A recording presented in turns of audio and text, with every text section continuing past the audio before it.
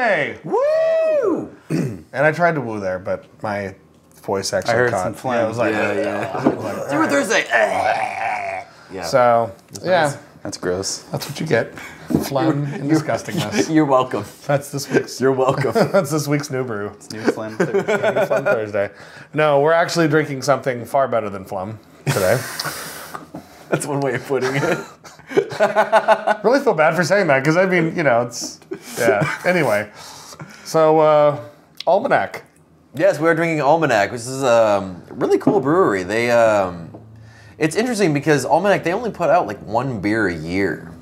Yeah, that's. Uh, I was noticing that when we because we have all three of them right now. We're only going to do two on the show. There's the the most current release was the Winter Wit, which is the orange label, um, which magically appears on camera, and then. Um, but I have to right away give a shout out to Mike Sardina who hooked us up with Got these three bottles. Super fan. Uh, yeah, because I mean, this these beers are not available outside of San Francisco, Mm-hmm. and apparently, you know, from what I was reading about them online, you really can't truly appreciate them unless you are in San Francisco eating something local, organic, and sustainable in the North San County. Franciscan. Yeah, Yes. the, the Almanac is very much about you know local farmers and you know local produce and you know partnering up with you know people in the Bay Area. That's kind of like their mo, which is really cool. I have. To I like say. their backstory though. They started out as home brewers doing like stovetop batch brews, and they'd get all their ingredients from like the local farmer market, Mm-hmm. and so that kind of like got them into the, that idea. Which is funny because anytime I've been to a farmers market, which has been like maybe twice in my entire life, For um, shame. I'd love to go, but the only farmers market we have is a dude that parks his truck on the corner over at Ramona Express Parkway, and that's not that's not a farmers market. Sells that's just a oranges, dude. There's one in Redlands you should check out. is there? Yeah, Market Street. They have All Market right. Night. I think they have one in Riverside in summer too, so Yeah. it's worth checking out. Go to a farmer's market. It's Go to a farmer's market. They are awesome. But every time I'm there, I'm thinking, like, I'd love to brew with this. We're going to open this one first um, because that is the one that my hand went for. And um, Got a fancy uh, foil opener. fancy. One thing I have to say, because it's it's two guys, and one of whom is responsible for um, like the business side and the art, um, and then um, the other guy, I'm they have names, I just don't know them. Um, but the other guy, Jesse and does- Damien. There you go. Um, and then the other is responsible for you know the recipes and you know the brewing side of it. So um, I have to say that the art is really fantastic. I mean, these are really gorgeous, gorgeous bottles. So Yeah, they're like, it's- I get. Is that raised lettering? It's kind of embossed on there. Yeah, kind of an embossed work on there. nice. it's cool. Um, So this is what the the farmhouse. This is a farmhouse pale. It's uh, brewed with plums.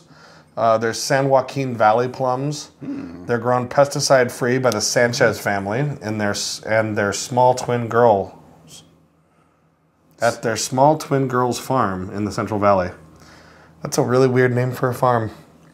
Twin Girls Farm. It actually sounds like the name of all. small twin. Oh yeah, I guess it would be. Small is the descriptor Yeah, of yeah, Twin Girls Farm. yeah. Okay, yeah. I'm like Twin- Twin Girls Small Farm, I like twin girls.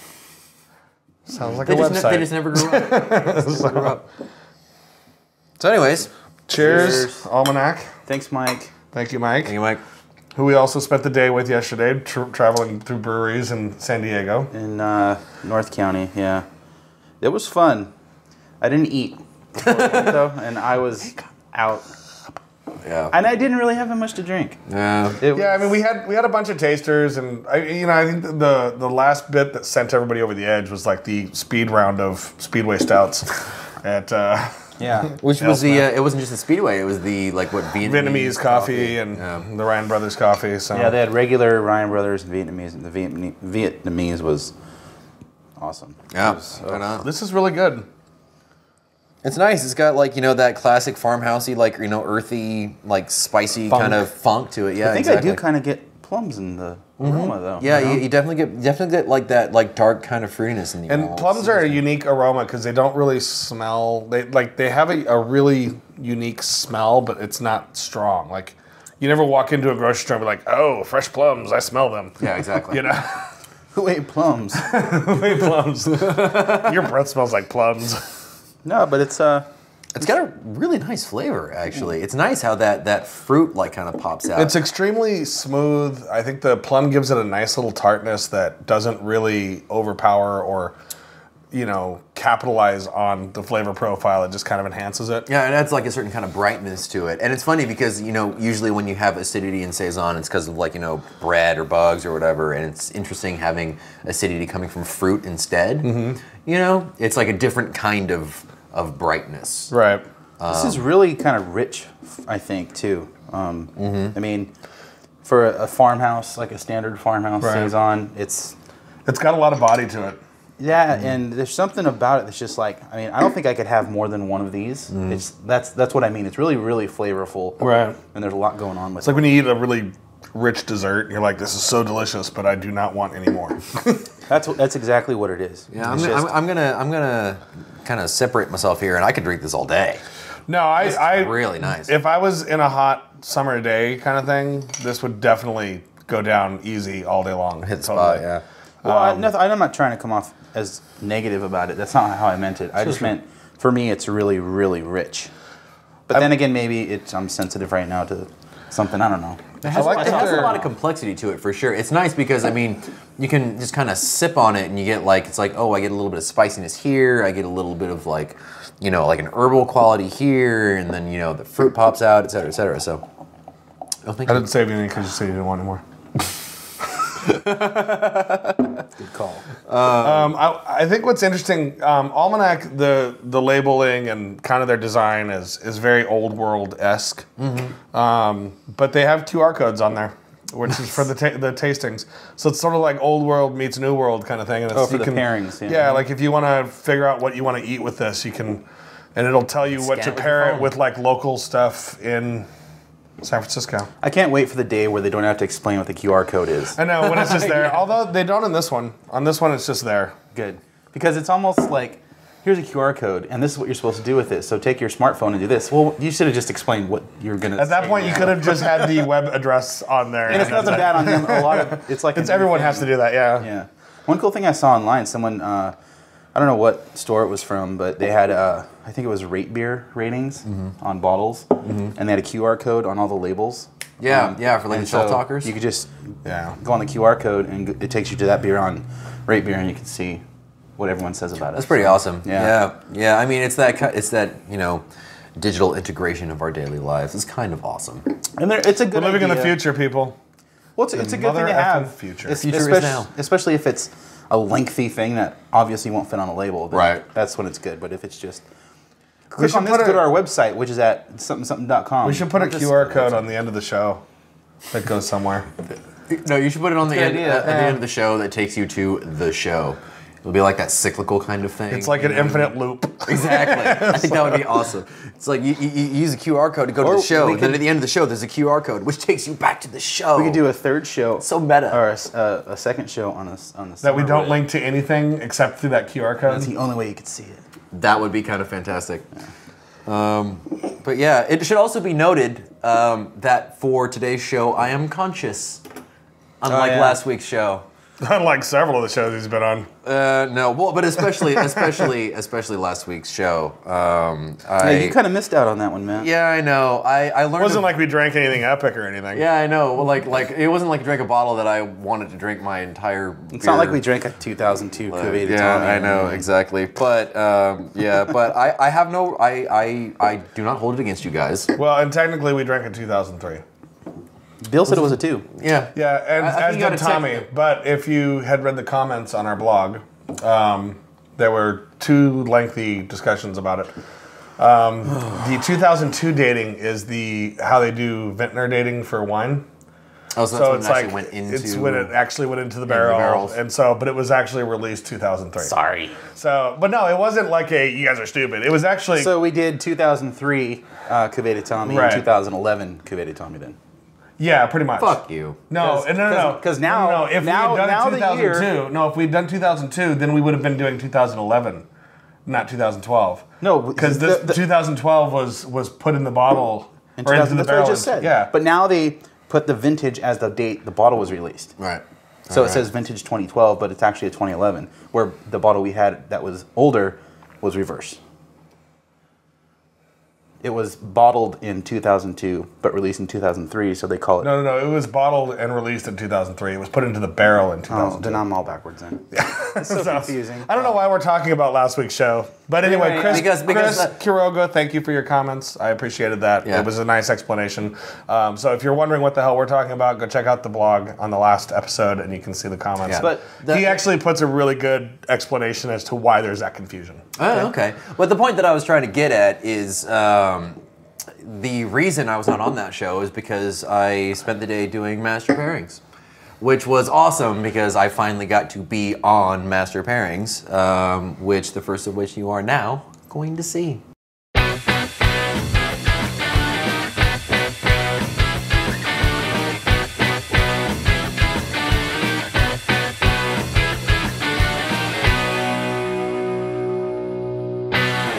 Everyone, welcome to another Master Pairings with me, your host, Bill Sysak, and today we have the newest member of New Brew Thursday, Matt Becker, on.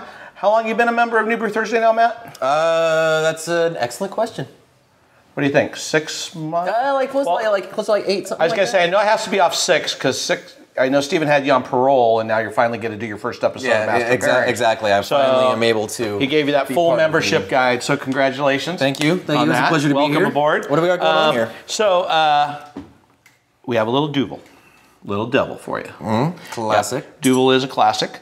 Um, delicious golden ale, eight and a half percent from Belgium. There you go, Yes, sir. Thank you.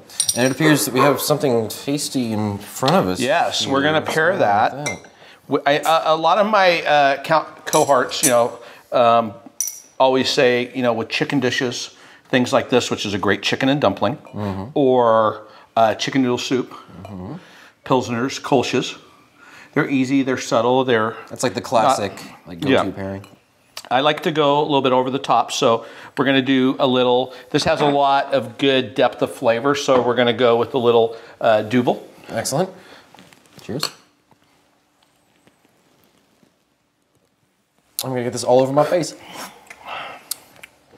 Beautiful, crisp, almost. Even though there's no corn added into it, I always get a little hint. So she did get it all very face. Um, I just got on my shirt. It's a big old head. This ain't a beard. Yeah. Anyways, Duvel is a great beer. It's very clean and dry. A lot of people are confused. They don't understand how strong it is. They think it's four or five percent. Very easy. Uh, it's very crisp. It's very clean. It has a hint of residual sweetness. Almost gives you this corn-like effect, although there's obviously no corn uh, involved in the Mm-hmm. brewing process in this. But it's just a delicious beer. Beautiful white foamy head. That's Yep, what it's yep. na- known for. A lot of really great And, spice uh, notes, too. With it, we got a classic chicken and dumpling that's just nice and thick and rich and beautiful. Nice dumplings, great chicken. Note the forks. Peas, carrots. This is this is definitely a forking kind of kind of uh, meal right here. I always consider chicken and dumplings basically chicken pot pie. With no pot pie. Yeah. Yeah. The dumplings are the are the crust basically. Yeah, So you have all the same components. So you've got that same flavor profile. If you've never had chicken and dumplings, just think chicken pot pie. It's delicious. And let's see how it goes with the beer. Oh yeah, really bright. Opens up, uh, goes through any fattiness, brings out this really nice hot bitterness towards the back of the beer, which you don't normally experience with Duvel because you're getting all that sweetness. Yeah, the uh, it's it's nice because like you always talk about the scrubbing bubbles, and it's so it's such a creamy, rich kind of dish. You know, I mean, Duvel's known for having a you know pretty high level of carbonation, and so it got just great carbonation. It's uh, cuts right through. It's even though we have beers that are made with the kind of in the champagne method bois style now, stuff like uh, Malheur and Deus, of course, uh, and Lust from Eisenbahn. This is kind of an early version of beer's comparison to a champagne. I mean, pilsners you could also go like that with that are highly carbonated, but this is great beer for this. It holds up really well. It has some of those doughy notes too, just like a champagne would. has that kind of like bready character to it, which again goes really well with the uh, with like that dumpling. Yeah. No, this is the, uh, chicken and This is delicious. dumplings. It brings out the sweetness of the carrots. And the spice is one thing that's really sticking out to me. I mean, because you know, Duvel has a very signature kind of like characteristic spiciness Right. to it, and it plays really well with like the herbal character of the Right, um, which you know chicken probably would have uh, classic chicken and dumplings might have uh, parsley, marjoram, thyme, things like that, Mm. and uh, it goes really well. It's really clean, refreshing. Um, different nuances with the Duvel. Definitely accentuates. I haven't had just a piece of chicken with it to see how the chicken holds up with it. You know, what's nice is there there are also like some like fruity notes mm-hmm. that I'm getting off the Duvel. When you get the chicken, it really brings out the fruit. Um, because you get this kind Don't mind of if I do. roasted chicken effect. Um, it's gonna be rude. which is how they uh, basically would do classically for chicken and dumplings. You'd roast the chicken and then uh, debone it and put it in there and put it in your thing. And so that's where really the fruity esters come through on that and really play really well. Yeah, yeah, yeah. Yeah, that's wonderful. Delicious beer, delicious food. Duvel's very versatile. Um, it, it- it's not as flexible as say a pale ale or a German Hefeweizen, but it will definitely go with a lot of chicken dishes, especially if they have uh, if they're not bland. And who wants bland chicken dish? So there's Or a lot of great personality for that matter. Exactly. Don't pick on Stephen. No, he's Yeah, anything yeah, but bland. I- we know, that. No, well, man, you know, but um, no, this is wonderful, and it's like, like I said, it's nice because it's having something that has that really full richness to it, with like that creamy, Oh, yeah. with the cream sauce to it, and having something It's very that just cuts decadent right and comforting. Once again, this kind of this series I've been going through is a lot of comfort foods Mm-hmm. recently, uh, and a lot of simplistic foods, things that are easy to do. Doesn't mean you can't appreciate the great craft beer and you can't appreciate great food. It can be very simple. Yeah, well, it's also nice because when you have you know a really great craft beer with a food that you think is simpler, it's amazing how the flavors will play off of each other and it'll bring out things that you don't expect. Right. It's always all about elevating both to a new level, and that's what the key is when you have them with them. So, Matt, excellent first show. Uh, thanks for coming on. Uh, we'll have you back. Absolutely. Cheers, everyone. Cheers. So we're back. Thank you for moving that bottle just welcome. as we came back. Yes. Yeah. So did you enjoy our little dumpling on his master pairings, his first master pairings, It was awesome. doing the doing the chicken dumplings? I want to say apple dumplings for some reason, and I don't know why I keep wanting to say that. No, it's not the same thing. It was not apple dumplings at all. no, it wasn't. It was chicken dumplings and a delicious duvel, which was actually kind of cool because we did like this, you know, really awesome like classic beer. Right, you know, right. My first master pairings, you know. So yeah, it was pretty awesome. Matt was way more excited about it being his first than the rest of us were. We were all kind of like, yeah, dude, whatever. Chop chop. Yeah, you got exactly. eight more of these to film. Move film along. it, just film it, okay? just get it over with. Yeah. Get into character. yeah, biatch. but but me but me, I was like bouncing off the walls. I was so excited, you know. I was like, yeah, I'm doing it, kind of like that. Yeah. You were also really stoked that all four of us were going to be on a show. It really was. And then, you, then we weren't. you asked me about that like eight times, Yeah, I know. which should have should have told me that you were gonna pass out. Yeah. Because I was like, dude, how drunk are you that you've asked me this question like eight times? okay, okay. And you're like, things. no, I haven't. a-" I'm like, you have asked me. I've answered it. Yes. Okay. No. All of us will be on a show. Okay, no, I have two things to say about this. Number one, um, I am going to go ahead and blame the uh, Demons of Ale for my passing out because that, the, this is an episode that will, a Master Pairings that will be uh, up and coming here. Right. because it would be way too responsible for him to take, you know, responsibility for his own actions. I accept responsibility. I'm He's got to just blame saying. Adam. He's got to blame Adam Avery because, you know, we all know how Matt feels about Avery beers. Yes, I love them. Um, but yeah, and then the other thing I forgot. So, what's this beer that we're drinking?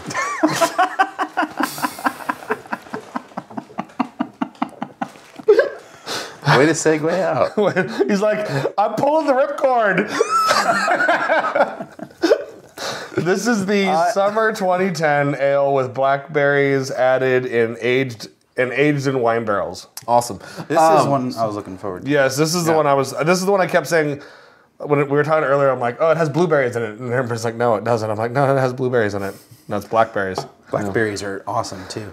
Yeah. Like, why do they got to be black? Yeah, that's that's that's uh, that's one of the things that we should point out about Because that's how God is made um, yeah or how they evolved. yeah. Um, all of uh, all of Almanac's beers actually use a fruit of some variety. Which, which I Right, think cheers is cool. this. Yeah, Cheers. this. Uh, this is good. This is good. Oh my god. This is also citra hopped. Ooh, Ooh, that's interesting.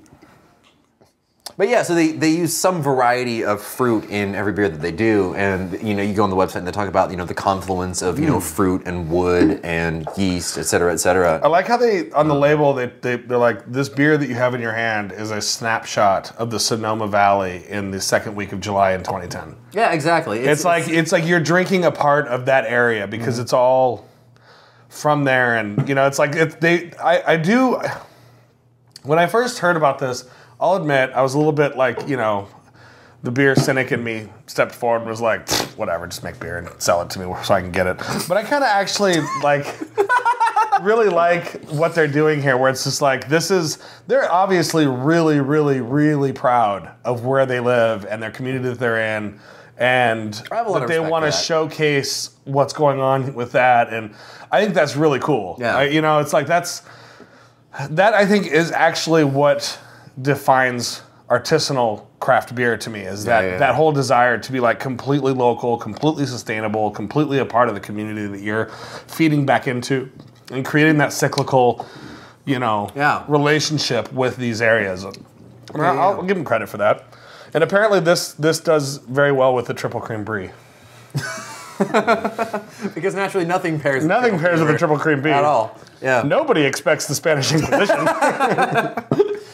Um, but yeah, it's all the, it's it's nice because like, you know, one thing that I noticed with this beer compared to the last beer is how well integrated the fruit is with the rest of the beer. You know, it's not like super in your face and overwhelming like you find with a lot of fruit beers. It's Right. it's it's All of them are very subtle. Yeah, yeah. It, I, well, I, I don't know if I would use the word subtle because I mean you can definitely taste the berry in it. You, it it's it's very much there, but it's very much in Well, harmony I think- with the other parts of the beer. You know. It says that it's it's brewed with blackberries, right? Which I mean, you can go to the store and buy blackberries, Mm-hmm. Right. But they're not blackberries that it's brewed with. It's brewed with like um, Cherokee, Marion, Olallie, and uh, boysenberries, which are all black varieties of Oh, berries. Oh, they're blackberries, not Right, actual it's not blackberries. actual blackberries, so it's like a blend of different berries and whatnot. So, and you just get like with the with the barrel that you get, you get that little bit of like vanilla and that little bit of oak flavor See, tossed then, then in. they should put a space between blackberries